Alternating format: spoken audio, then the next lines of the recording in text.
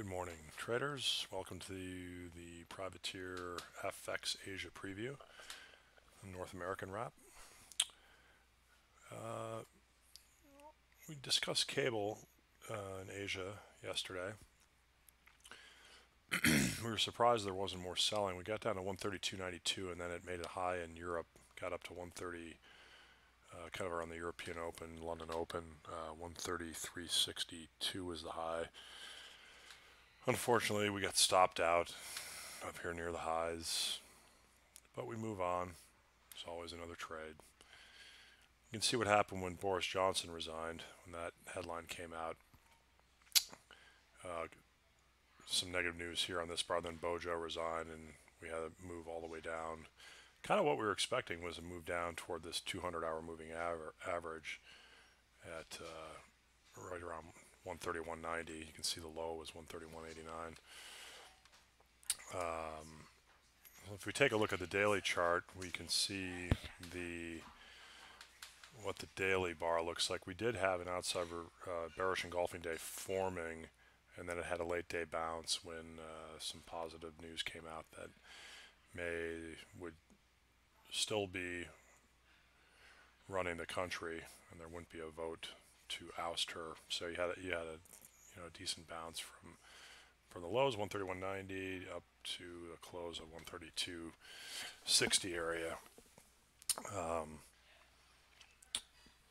so that was cable. Um, still, I think the best way to play this is just to be long volatility. Um, it's a big headline game, and I think that's going to continue for a while. Some other interesting daily charts that we looked at were Kiwi after four up days. We had a, a nice little doji day. You can see it's uh, trading higher. We still haven't taken out Monday's high. Um, we're getting just some. Th this pattern could be interesting. Uh, Kiwi, you know, is pretty was pretty well oversold, and uh, looks like it might be turning turning back higher. Um,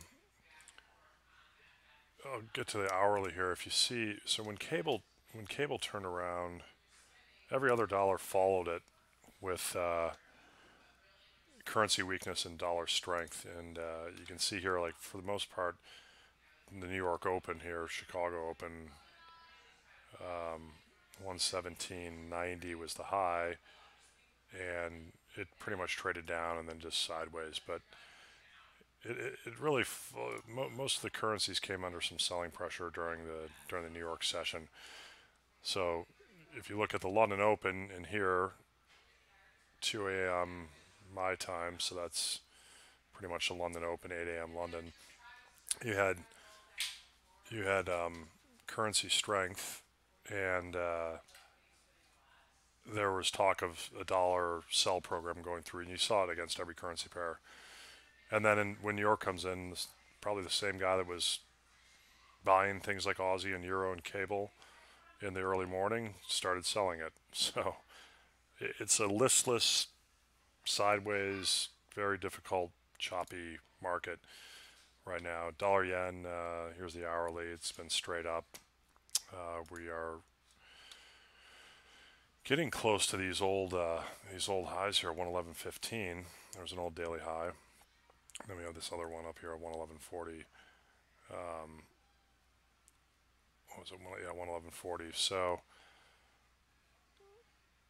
it's a very mixed bag. It, to me, it seems more risk on. Equities did well today, and you know you're seeing the likes of Aussie and Kiwi higher here in Asia, and and dollar yen is continuing to drag drag uh, some of these uh, risk sensitive currencies higher. There's an Australian dollar versus the Japanese yen, back above the 200, uh, what is it, back above the 100 day.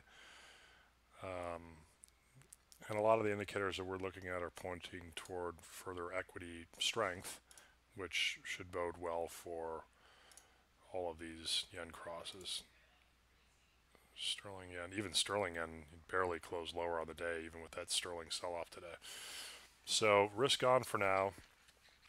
Stay nimble. We got World Cup semis tomorrow. Belgium versus France should be a great game. Um, some data points out of the UK industrial production, manufacturing production.